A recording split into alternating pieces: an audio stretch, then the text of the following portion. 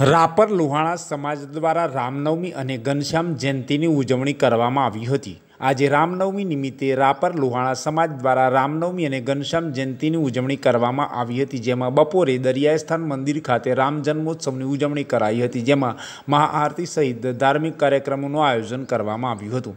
સાંજના ચાર વાગ્યાના સમયે ભવ્ય વેશભૂષા સાથે શોભાયાત્રા કાઢવામાં આવી હતી, જે દરિયાસ્થાન મંદિરેથી થઈને મુખ્ય બજારમાં, માલી ચોકમાં ST road, Dena bank Chowk, Salari Naka, Mandvi Chowk થઈને દરિયાસ્થાન મંદિર ખાતે સંપન્ન થઈ હતી. રાસ ગરબાની રમઝટ સાથે ભવ્ય શોભાયાત્રામાં લોહાણા સમાજના પ્રમુખ રાજેશભાઈ ચંદે, વસંતભાઈ આદવાણી રસિકલાલ આદવાણી પ્રભુલાલ રાજદે ચાંદ ભિંડે દિલીપ મીરાણી પ્રભુલાલ સીજપાર, બળવંત ઠક્કર ભરત રાજદે અંજનાબેન ચંદે, રંજનબેન રાજદે, વાસંતીબેન ચંદે, સરસ્વતીબેન ચંદે સહિતના લોહાણા સમાજના લોહાણા યુવક મંડળ, લોહાણા મહિલા મંડળ દશનામ ગૌસ્વામી સમાજ સહિતના લોકો ઉપસ્થિત રહ્યા હતા. તો પૂર્વ કચ્છ જિલ્લા પોલીસ વડા મહેન્દ્ર બગડિયા ગાંધીધામ નાયબ પોલીસ અધિક્ષક એવી રાજગોરે મુલાકાત લીધી હતી અને પોલીસ તંત્રના અધિકારીઓ અને કર્મચારીઓએ સૂચના આપી હતી. તો શોભાયાત્રા દરમિયાન Rapar PI V K Gadhvi, follow સ્ક્વોડના PSI D K Brahmbhatt, Balasar PSI D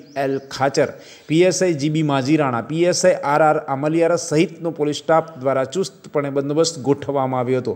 આમ રાપરમાં લોહાણા સમાજ દ્વારા રામનવમી અને ઘનશ્યામ જયંતીની ભવ્ય રીતે ઉજવણી કરવામાં આવી હતી.